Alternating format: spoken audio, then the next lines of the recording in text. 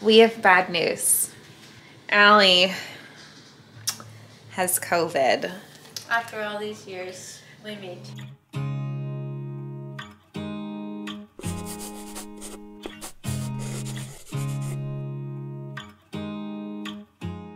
Neither of us have had COVID until now. I'm still negative. I'm trying to stay away I from thought I her. had COVID. I was convinced. I was like, I had COVID. I never tested positive. I'm one of those people. Now you actually have it. It's not actually good. It's not good, no. It sucks. I knew the minute I woke up. I said, this is COVID. Yeah. So, I was unlike any illness I felt. help me take care of my uh, pregnant COVID sick wife. This is a giant bag of cheese. I've also made her a lemon and honey drink, and now... I gargled with salt water. My throat feels much better than when I woke up. Good. Still sore, but I've also been giving her lots of juice and water so that she can stay hydrated. She has a little so fever. far, no cough. Actually, my fever's gone. Currently. Fever, the Tylenol worked. I have a headache. Headache. Tired, but I'm always sore tired, so throat, not tired. So I'm gonna try to snooze, even though I hate snoozing. I know. But I'm a duty. I shouldn't kiss her on the mouth because I don't want her to. I think Rosie gave us COVID. Maybe that's where we got it from. Or Allie got it from. I'm not sick yet. Let's see if I test positive. So I'm on COVID prep duty. I'm really worried that Allie and I are both gonna get really sick and need like food and a clean house and everything. So I'm prepping in case that happens, cleaning the whole house, and I'm about to make a nice fresh homemade soup with protein in it just in case. Allie's mom did go grocery shopping for us and picked up soups and fruit, bread so we can have toast, different things. Allie is really not feeling good. She had to go to the hospital, so that's where she is right now. Um, no one could go with her because she has COVID. She was having really, really bad chest pains, but with no like respiratory symptoms at all, like no cough, no cloggy lungs, like nothing like that. Really bad chest pain and a really, really fast heart rate. So she went in and they did an ECG, and now she's just waiting to talk to the doctor to see what's up. Last thing they heard, you were in the hospital. Oh, it's fine. For your heart? It's fine. Don't worry. It was fine. It's fine. The, the doctor was a bro, though. Like, I never got a bro doc before. Like a frat boy. he was a bro. Like, literally a bro. I was like, this is so weird. But they said that He your nice. heart racing and chest pains was probably just He said it was like a combination of trying to get my fever down um, and just like having extra blood, being pregnant, having COVID. ha- having COVID. things. But my b- oxygen was perfect. They said it was like a like a hundred. Yeah, and they checked your heart and everything was fine. So Everything was fine. But good you got checked. And uh, they always say, "Come back, come in." Though it's good. But my chest pain, what was that? I don't know. That sucked. Good morning, COVID lady. Hello. It's COVID day. What do you want? Hi, mom. It's COVID day three. the cats are trying to get out the window. Day two, did we? Day two was actually not that bad. Day two was your better day. I thought I was gonna be good. I thought I was done, and I avoided it. I was like, I'm good. You even told the hospital that when they called. I was like, I think it's over. They said days four and five are the worst. Mm-hmm. She said, Usually? one. Today, uh, I'm hoarse. I'm congested. My throat is just as sore. That's all. Okay. I'm tired, so I just sleep. Yeah. Nightmares. Uh, nightmares, awful. My poor Every girl. time I go to sleep. Trying to show them the little thing they gave you. Oh yeah. This is an oxygen monitor. It's just because you're pregnant. They want to keep an eye on it in My case you need fine. supplemental oxygen. And they put me on 2,000 things uh, I use or something they call it of vitamin D every day. After all these years, I finally got it. I know. That's the worst part. I know. We've avoided it for It's so like you long. avoid it for so long, and you're finally hit. I know. But I'd much rather get it now than when the babies are born. So That's true. I gotta go turn my alarm off. Welcome to the nursery. So, still COVID day three. I don't know if I said that I am still negative and I feel okay. Perfectly fine, actually. I have no symptoms. I'm fully anticipating that I will get it because I'm in close contact with Allie. At the time that Allie tested positive for me to isolate from her, we did talk about it, but I'd already like slept in the same bed as her, shared drinks with her, kissed her. Like, what's really the point in isolating after all that?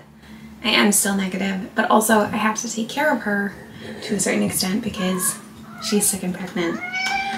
So one of the jobs she gave me today was to work on the nursery so that it's more done. So I've been taking out some big things that were being stored in here that don't belong.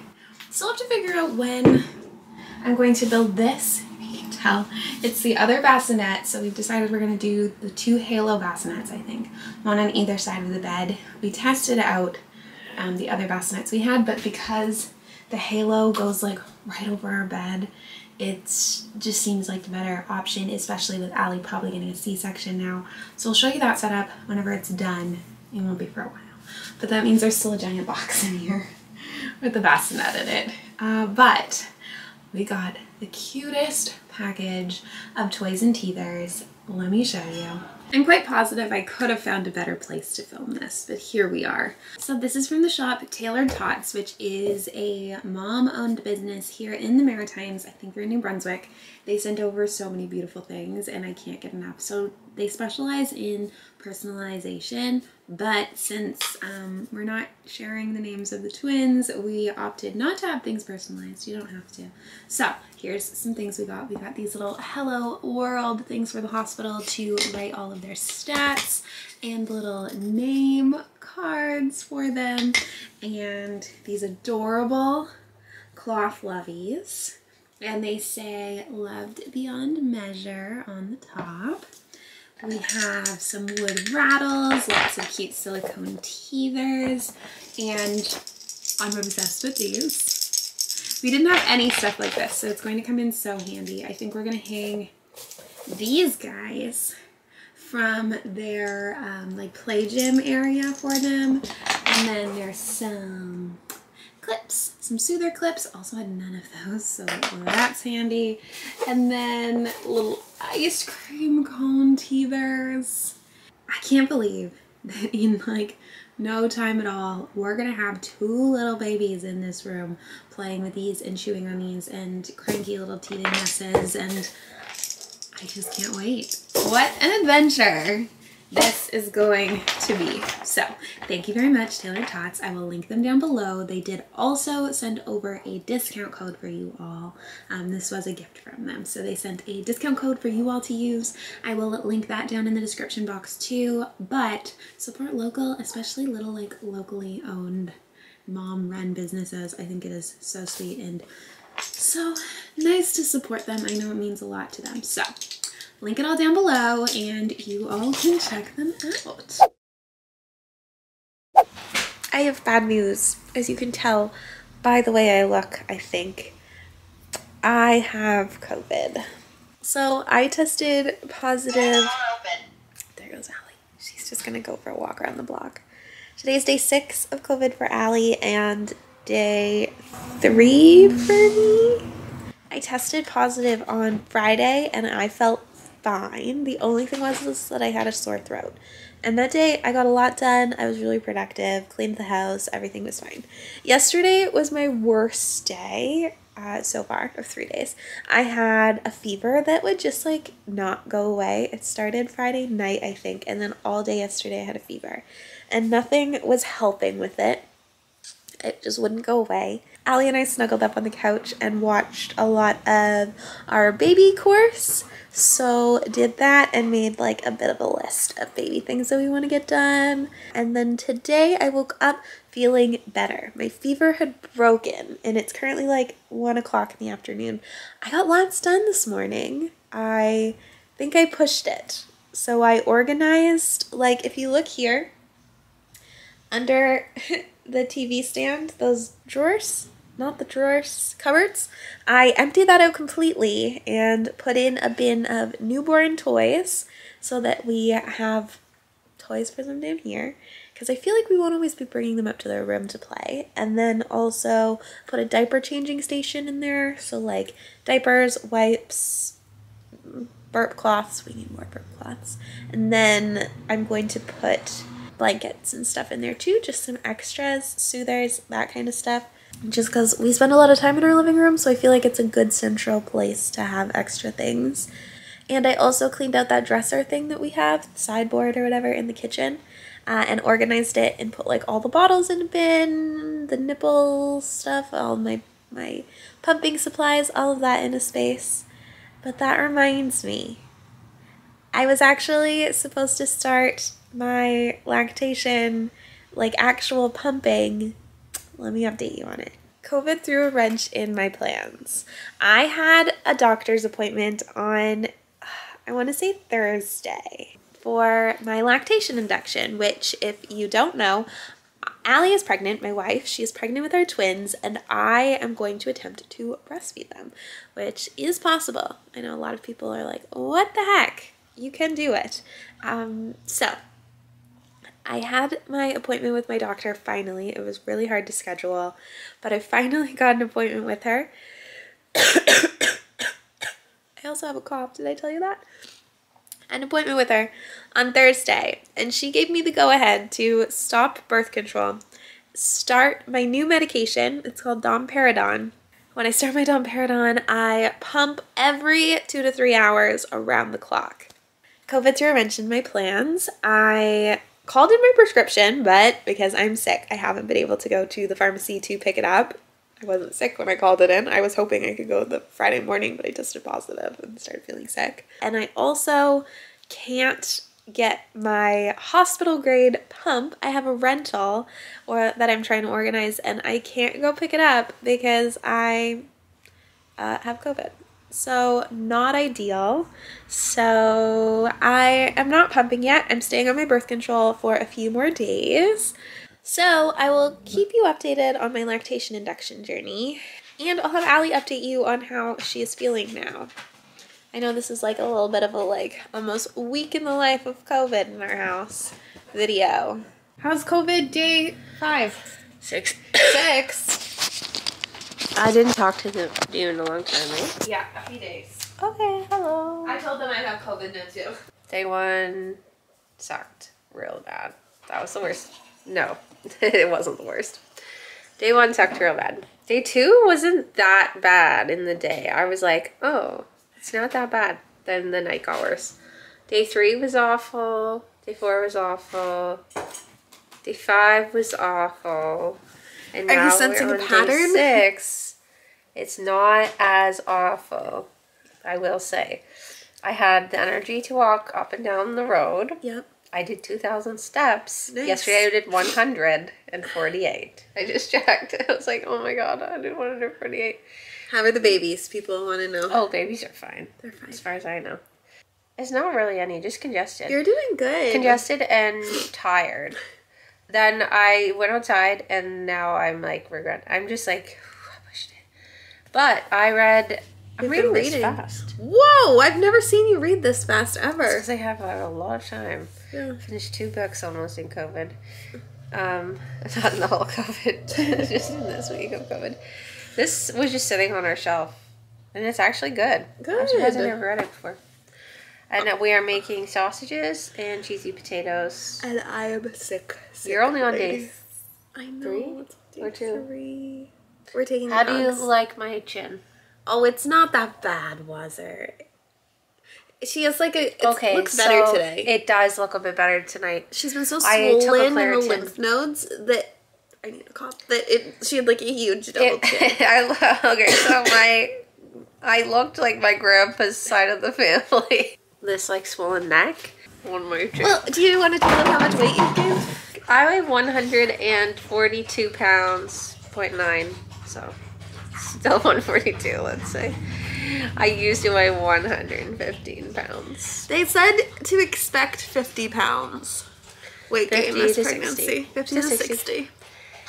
And I've gained, well, let's see. You're on a good weight gain track, which is good considering baby A is small. pounds, I think. Yeah. I, I so I actually weighed 118 before but then I lost I lost three pounds in the first couple of weeks mm.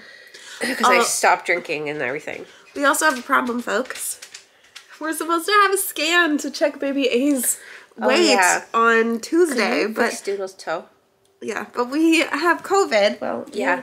So I called and then they said call call her back, but then they didn't. So I'm I may have to go back from the place we're going on a little vacation yeah. to the hospital. Well, because they won't. By it's myself? important to check baby A's. I don't want to go by myself. I know. I don't even have a friend really I could ask. I don't think you're allowed to bring anyone if you have COVID.